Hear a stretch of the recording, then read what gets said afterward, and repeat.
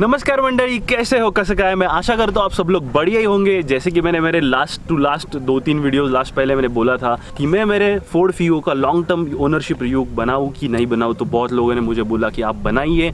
तो आज मैं आपके लिए लेके आया हूँ फोर्ड फीगो का एक लॉन्ग टर्म ओनरशिप रिव्यू तो ये है मेरी Ford Figo 2011 petrol variant model top of the line variant model है। सो आज हम इसके बारे में बात करेंगे और देखेंगे ये गाड़ी सच में कितनी रिलायबल है और कितनी अच्छी है। तो चलिए वीडियो को स्टार्ट करते हैं without wasting any time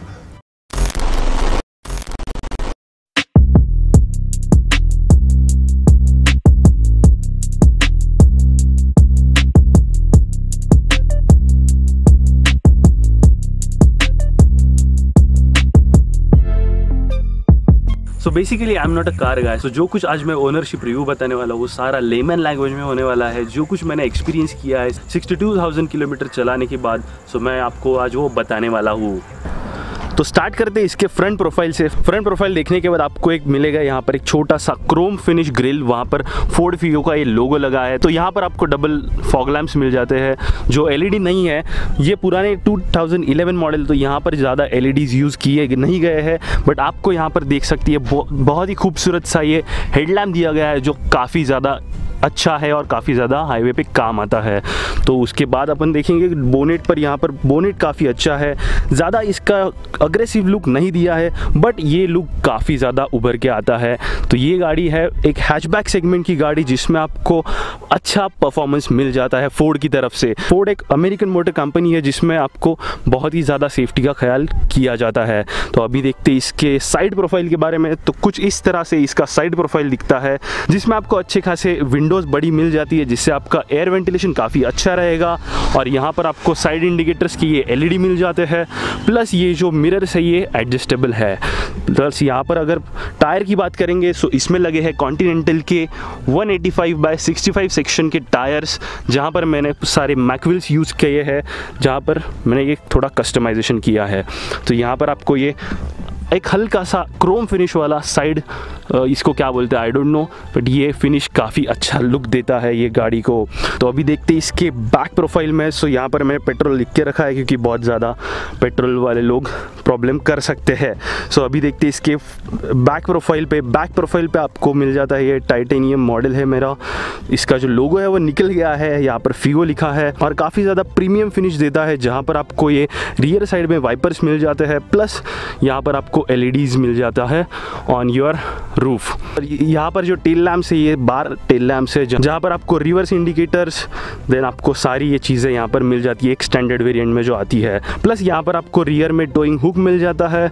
then अगर बूट स्पेस की बात करेंगे सो 284 लीटर्स का अच्छा खासा बूट स्पेस आपको मिल जाता है. अभी जो है, इसका थोड़ा सा प्रॉब्लम हुआ है, जिसकी ये बूट स्पेस ओपन नहीं होता है.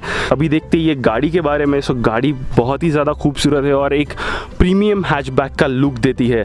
गाड़ी का जो हाइट है, वो थोड़ी सी कम है बट 511 टू 512 के लोगों के लिए इजीली यहाँ पर आपको कंफर्ट मिल जाएगा।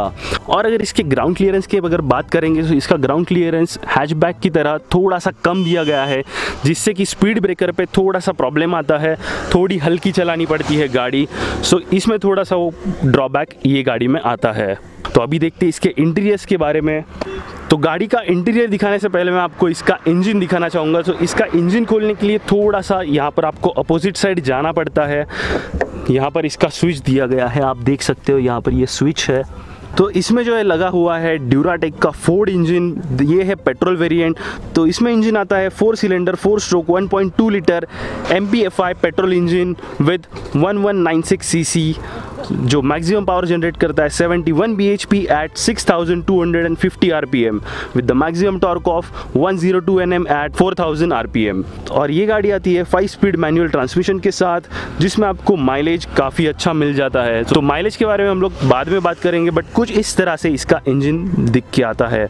आप देख सकते हो इसमें ये फोर सिलेंडर इंजन लगे हुए हैं। तो अभी बात करते हैं इसके इंटीरियर्स के बारे में, देखते हैं इसका इंटीरियर कैसा है। कुछ इस तरह की इसकी की आती है, जिसमें अनलॉक लॉक और ये डिक्की ओपन होने का ये स्विच दिया है। सो अभी इसको करते हैं अनलॉक ये अनलॉक हो गई है। तो अभी देखते हैं इसके इंटीरियर्स कैसे है। सो so, सबसे पहले बात करेंगे इसके डोर्स के बारे में। सो so, डोर्स का जो आवाज़ है वो काफ़ी ज़्यादा प्रीमियम है और इसमें समझ में आता है कि कितना अच्छा स्टील फोर्ड ने यूज़ किया है।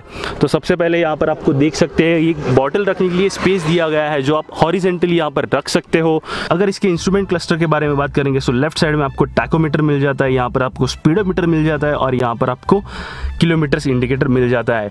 बेसिक साइज़ का इंस्ट्रूमेंट क्लस्टर दिया गया है बट काफ़ी ज़्यादा यूज़फुल है और मुझे लगता है कि इतना इंस्ट्रूमेंट क्लस्टर काफ़ी होता है कोई भी एक कार के लिए। अगर साइड में देखेंगे तो यहाँ पर आपको बूट स्पेस यानी कि डिक्की ओपन करने का यहाँ पर स्विच दिया गया है। प्लस आपको यहाँ पर नॉब दिया गया है आपका हेडलाइट एडजस्ट करने के लिए। और इसका जो थोड़ा यूनिक मुझे ये लगा है कि इसका जो साइड इंडिकेटर्स है, वो लेफ़्ट साइड में दिए गए हैं। नॉर्मली ये राइट साइड में आते हैं इंडियन कार्स में। इसमें जो राइट साइड में है वाइपर एडजस्टमेंट मिल जाती है।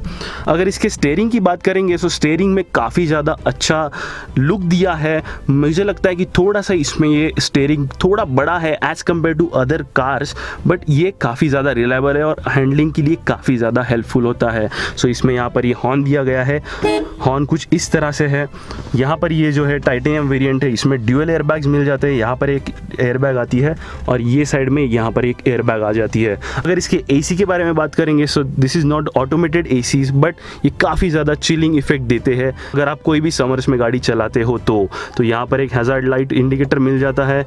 यहाँ पर ये डी मिल जाता है। देन ये म्यूज़िक सिस्टम आता है जो ऑलरेडी इनबिल्ट है फोर्ड की तरफ़ से। सो यहाँ पर ये फ़ैन स्विचेस आते हैं। देन इसमें आपको एयर इनटेक रखना है। वो एडजस्टमेंट आती है। देन यहाँ पर एसी है। एसी ऑन ऑफ़ यहाँ पर AC hot cold variant then यहाँ पर एसी के ही कंट्रोल्स है।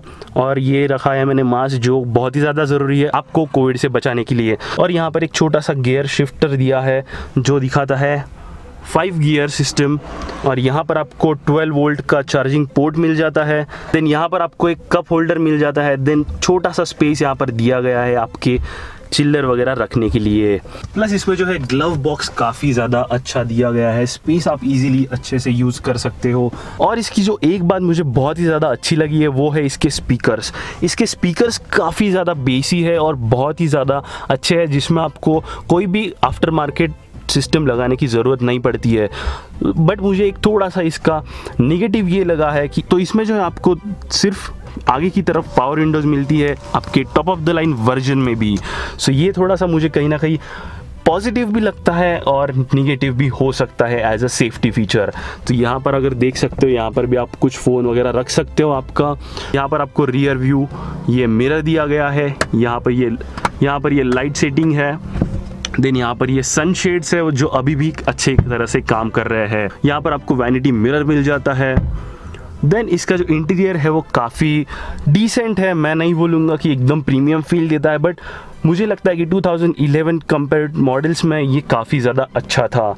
अगर इसके सीटिंग कंफर्ट की अगर बात करेंगे तो इसमें आपको फुल्ली ब्लैक कलर के इंटीरियर्स मिल जाते हैं बट सीटिंग कंफर्ट काफ़ी अच्छा है, जिसमें आप सीट हाइट भी एडजस्ट कर सकते हो, ऊपर नीचे आपके हाइट के हिसाब से। बट मैं मानता हूँ कि आपका अगर हाइट पाँच बारह या पाँच ग्यारह भी होगा तो भी आपको ईजिली ये ड्राइव करने के लिए ईजी रहेगी। सो so, मेरी हाइट है फाइव सेवन तो तो मैं ईजिली इसको ड्राइव कर पाता हूँ। अगर बैक सीट पर मैं पूरा बैठा हूँ आगे की सीट पूरी पीछे है फिर भी मैं कंफर्टेबली यहाँ पर बैठ पा रहा हूँ। और इसकी जो रूफ हाइट है वो काफ़ी डिसेंट है मतलब इजीली मैं यहाँ पर फिट हो सकता हूँ और तीन लोग यहाँ पर इजीली एडजस्ट हो सकते हैं। प्लस इसमें जो आपको बैक रेस्ट और नेक रेस्ट मिल जाता है। सो यहाँ पर मैं लॉन्ग राइड की अगर बात करूँ तो लॉन्ग राइड में मैंने इसे बहुत ज़्यादा चलाया है। बट फिर भी आपको फटिंग बिल्कुल भी इसमें महसूस नहीं होने वाला है, क्योंकि इसका सीटिंग कंफर्ट जो है वो काफ़ी अच्छा दिया गया है। जैसे कि मैं पहले बात कर रहा था कि इसके top of the line version में भी सिर्फ़ आगे की तरफ़ पावर विंडोज़ मिलती है, पीछे की तरफ़ आपको मैन्युअली ये एडजस्ट करना पड़ता है। सो ये कहीं ना कहीं निगेटिव भी हो सकता है और पॉजिटिव भी है। सो यहाँ पर जो है डिसेंट आप एक देख सकते हो इंटीरियर दिया गया है, जिसमें आपको सिर्फ़ ये हैंडल हैंडल पकड़ने के लिए इतनी ही जगह है, बाकी आप यहाँ पर बॉटल वगैरह नहीं रख सकते हो। और इसका जो सबसे बेस्ट पार्ट मुझे ये लगा है इसका जो एग्जॉस्ट नोट है, वो काफ़ी बेसी है। मतलब स्पोर्ट्स कार का इसको फील देता है तो अभी सुनते हैं इसका एग्जॉस्ट नोट कितना सही है।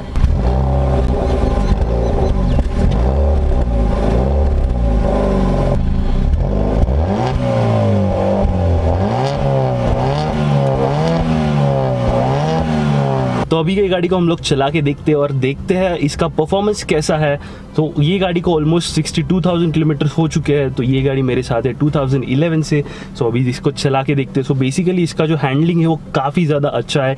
ये सेगमेंट्स के गाड़ी के कंपेयर में।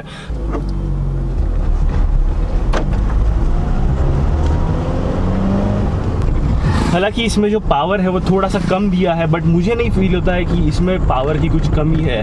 अगर हम लोग बात करेंगे इनिशियल टॉर्क की और पावर की सो आपको अच्छा खासा स्मूथ पावर डिलीवरी मिल जाता है इसमें। और मैं अभी इसको चला रहा हूँ सेकेंड गियर पर। अभी मैं इसको थोड़ा सा रेव करता हूँ इसको देखते हैं टेस्ट करके। सो so, जैसे ही मैं इसको रेव करने जा रहा हूँ सो इसका हैंडलिंग काफ़ी ज़्यादा परफेक्ट है। अगर आप हाईवे पे ड्राइव कर रहे हो सो इसमें आपको बिल्कुल भी फील नहीं होने वाला है। प्लस इसकी जो अभी हम लोग जो है चला रहे थोड़े से ऑफ़ रोडिंग टाइप रोड पर। तो इसका जो सस्पेंशन है, वो स्टीव दिया गया है।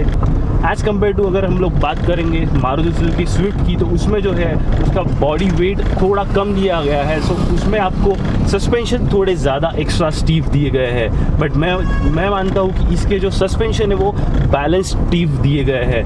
अगर आप लॉन्ग ड्राइव पर जाना ज़्यादा पसंद करते हो तो ये कार आपको बिल्कुल भी फटिंग महसूस नहीं होने वाली है।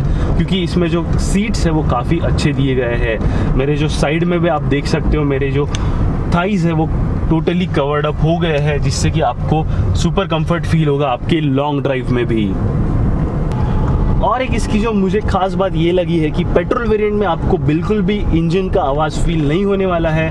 As compare to diesel cars में ज़्यादा इंजन का आवाज़ आता है अगर आप ये गाड़ी चलाते हो जैसे कि मैंने बोला कि 62,000 किलोमीटर से ये गाड़ी को हो गया है फिर भी ये गाड़ी के इंजन का नॉइस और आवाज़ बहुत ही ज़्यादा स्मूथ और बहुत ही ज़्यादा रिफाइंड है।